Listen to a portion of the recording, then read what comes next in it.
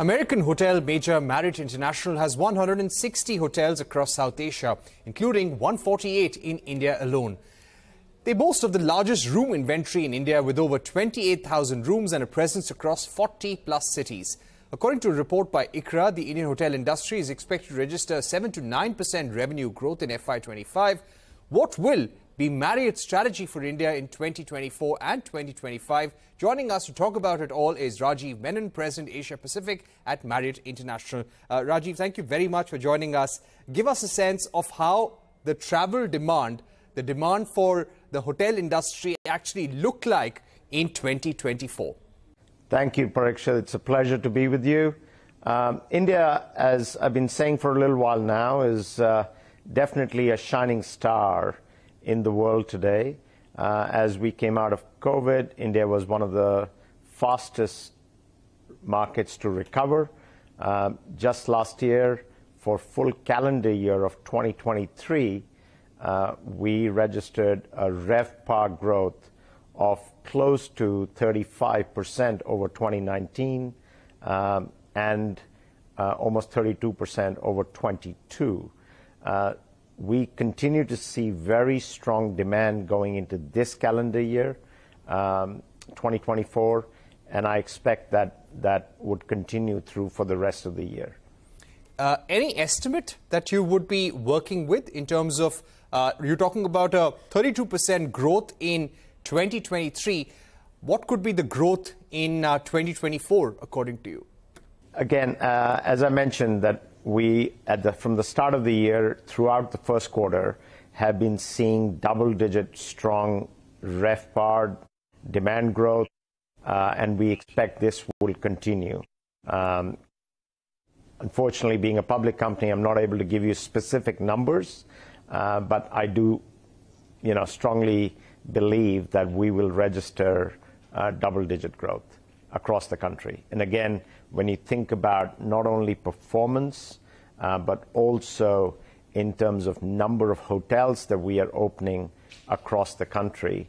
Uh, this year, we are going to, in the next two months, basically in May, open our 150th hotel uh, on the footsteps of Vaishno Devi, Katra Marriott Hotel and Resort. Um, we are adding a total of 12 new hotels across the country this year. We have a pipeline of 100, sorry, pipeline of 80 hotels um, in India today on top of the 150 that we would be operating by next month. We signed a stunning JW Marriott Resort and Spa in Alibag, uh, just 10 minutes from, you know, Mumbai Gateway. Uh, a destination resort that'll not only have facilities um, which will include great convention areas uh, and villas and resort facilities, but also a ranch style concept with horse riding and other recreational facilities. So, as a company, we have been very focused on these resort destinations. In fact, I'm speaking to you right now from JW Marriott Golfshire, which is one of the most stunning golf resorts in India. Uh, and these kind of destinations are gathering uh, incredible amount of demand. Uh, and we, we genuinely believe that this will continue to grow as leisure demand continues to grow in India. Right. So, very bullish on India in terms of expansion.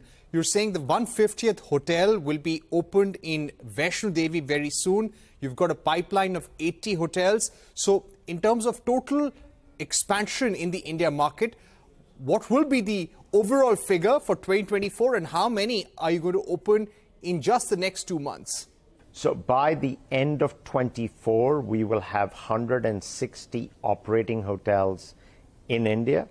Um, we, as I just mentioned, on our pipeline, and I expect by in the next five years, Marriott would have 250 operating hotels across the country uh, with uh, about 50,000 rooms um, across India. And as you know, today we are across 40 cities.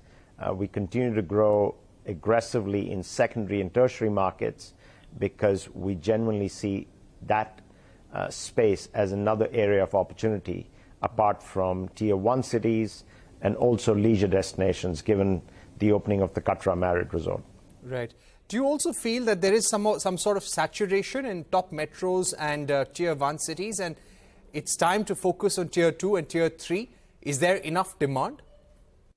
I think there's demand across the board. When you think about you know, what India has today in terms of total branded hotel inventory of around 180,000 rooms, um, which by 2030 would be headed more towards 300,000 rooms. Uh, and you compare this to China or uh, Dubai or US and other mature markets, it pales in significance. And given the incredible growth India is experiencing, uh, the economic shift that you know India will experience from being the fifth largest economy to the third largest economy in next five years, uh, we think there is some amazing potential as people acquire wealth. As they you know become more aspirational from a travel point of view. In 2019, 2.3 billion trips were taken across the country, which will go to 5 billion in the next five years.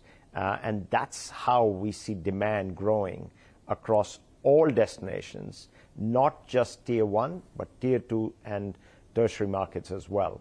Uh, so I think there is opportunity in, in all areas, including tier one, for more growth. Right. Uh, now, in terms of the segments that you're present in, luxury, premium, select, or maybe the affordable segment, which is uh, the segment which is really driving the highest revenues for you and seeing the highest demand? In terms of our signings, uh, Parikshit, just from last uh, January 23 through you know end of first quarter this year, we have signed more than 5,000 rooms across South Asia, and bulk of it being in India. Uh, and in this case, 77% of our signings are actually in the luxury and premium space, um, with 50%, more than 50% actually driven by luxury signings. And this has shifted. If you looked at pre-COVID, uh, given our growth in secondary, tertiary markets, we were experiencing, you know, um, signings with Courtyard by Marriott, Fairfield by Marriott, and other upscale brands, uh, which has now shifted as more leisure destinations start to open up. Uh, just a few weeks ago, we signed a stunning Ritz Carlton in Jaipur, uh, spread over 43 acres of land, which is going to be a destination resort. I just talked about uh, signing of the JW Marriott Resort and Spa in Alibag, uh, 10 minutes from Mumbai. So we're seeing a lot of these destination resort opportunities come up across the country as the government invests in infrastructure. Accessibility gets better. People are willing to travel more and more. Uh, there is a real opportunity for growth. So you will see uh, Marriott opening hotels uh, from a JW Marriott in Belgaum to a Ritz-Carlton in Shimla to hotels in Ranthambore, um, you know, and we've talked about some of the other destinations across the country as well. Right. So you said uh, you have a pipeline of about 80 hotels. Uh, where would these uh, hotels really come up? You mentioned some of the destinations such as Shimla, Vaishno Devi. Uh, could you tell us about some of the other areas you want to focus on? So Marriott has been very bullish um, on religious pilgrimage destinations as well. We have signed Marriott hotels last year in Ayodhya. Uh, we have a number of hotels in Amritsar. Uh, we have hotels near Shirdi in Nashik. Uh, I just talked about Katra as an example. Uh, we are working on other opportunities as well.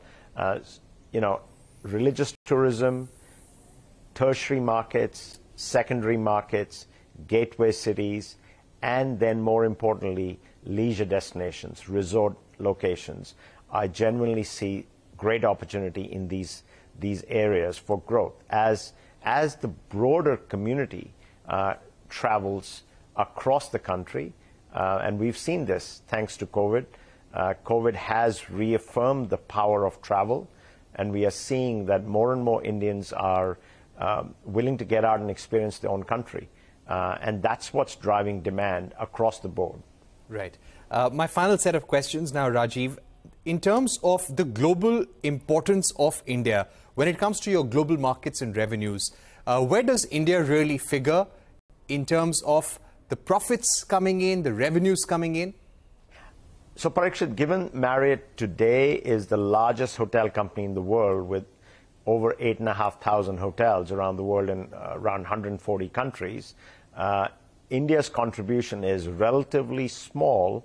However, the growth is one of the best in the world. So we expect in the next few years, India will become our third largest market after US and China, given the growth that we're experiencing here. And when you think about the next few decades, um, I dare say India would, would be one of the key contributors um, to Marriott. Right. In uh, the long run. In terms of the capex plan, you're talking about 300,000 rooms in India by 2030. What kind of a capex would that require? Uh, any ballpark figure that you can give us in terms of deploying those funds for the uh, Indian region? Now, please keep in mind the 300,000 rooms I talked about that were broadly across the industry. Um, for us, today we operate over 28,000 rooms. This will go to over 50,000 rooms in the next five years. Um, and, you know, we continue to be very aggressive in terms of working with our, with our partners. Uh, but as a management company, our focus is working with some of our big partners who end up developing these assets um, in various destinations. Right. Rajeev, uh, wonderful talking to you. You're extremely bullish on India, telling us about uh, the growth trajectory for Marriott from 28,000 to uh, 50,000 rooms by the end of uh, 2030. Thanks once again for being with us and giving us your view on how you see growth in the hospitality sector. Thanks so much, Parikshit. It's, it's a pleasure.